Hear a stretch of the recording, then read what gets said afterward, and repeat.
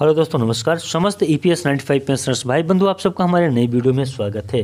दोस्तों, खबर बहुत महत्वपूर्ण है, इसलिए ज़्यादा बात नहीं करते हैं, सीधा खबर और टॉपिक पे आते हैं। तो सबसे पहले यहाँ पे लिखा हुआ है, Raghunandan Singh, nine seven nine three one, zero three two five five. E P S ninety five, राष्ट्रीय संघर्ष समिति, मंडल प्रयागराज, उत्तर प्रदेश की आवश्यक बैठक दिनांक दस दो दो हज़ार बाईस, समय ग्यारह बजे, सिविल लाइन बस अड्डे गेट नंबर दो, टीन सेट में संपन्न हुई। बैठक के मुख्य अतिथि कार्यकारी प्रदेश अध्यक्ष श्री श्रीमान सी वी सिंह जी, समस्त पेंशनर्स को 2021 और 8 दो 2022 को राष्ट्रीय नेतृत्व एवं केंद्रीय ईपीएफओ कमिश्नर, मुख्य वित्त सचिव एवं सलाहकार एवं मथुरा के सांसद श्रीमती हेमा मालिनी जी के नेतृत्व में एनएसी के राष्ट्रीय अध्यक्ष प्रतिनिधि के साथ पेंशन वृद्धि के संबंध में जो वार्ता संपन्न हुई, उस पर विशेष प्रकाश डालते हुए उपस्थिति पेंशनर्स सदस्यों को संबोधित किया।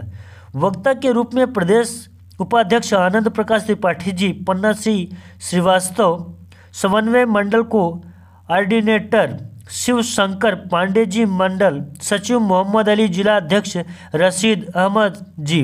मंडल संगठन मंत्री रघुनंदन सिंह लल्लू, राम प्रजापति रमन लाल गुप्ता जी, भरत जी, सरोज अध्यक्ष गुलाब चंद मिश्रा, उपाध्यक्ष मिर्जापुर एस के बाउल जी राम बाबू कोषाध्यक्ष, अन्य सैकड़ों सदस्यों का मंडल अध्यक्ष, श्रीमान टी आर सिंह जी ने अध्यक्ष भाषण में उपस्थित सदस्यों का आभार व्यक्त करते हुए अपने संबोधन में सदस्यों को आश्वासन दिया कि अवश्य आप सबका संगठन के साथ सक्रिय रूप से संगठन का आदेश का पालन करने हेतु ज़िम्मेदारी निभा रहे हैं और राष्ट्रीय नेतृत्व के साथ हम सबका पेंशन वृद्धि अवश्य हम सबको मिलेगा। धैर्य और विश्वास संगठन के प्रति बनाए रखें। आपका रघुनंदन सिंह मंडल संगठन मंत्री ईपीएस नाइन्टी फाइव, राष्ट्रीय संघर्ष समिति मंडल प्रयागराज, उत्तर प्रदेश। दोस्तों, इन तस्वीरों में आप देख सकते हैं, इन तस्वीरों में साफ़ और स्पष्ट रूप से दिखाया जा रहा है। जो मैंने आपको बताया है, भाषण तो और काफ़ी ज़्यादा लंबा चला है, लेकिन जो महत्वपूर्ण बातें थी, उस बातों को मैंने अपने इस नए वीडियो में रखा है, ताकि जो E P ninety five pensioners हैं, यहाँ पर नहीं पहुँच सकें, इस सभा में नहीं पहुँच सके तो वो हमारे वीडियो के माध्यम से जानकारी लें कि एन के टीम के द्वारा कित कितना संघर्ष E P S ninety five pensioners को पेंशन दिलाने के लिए किया जा रहा है।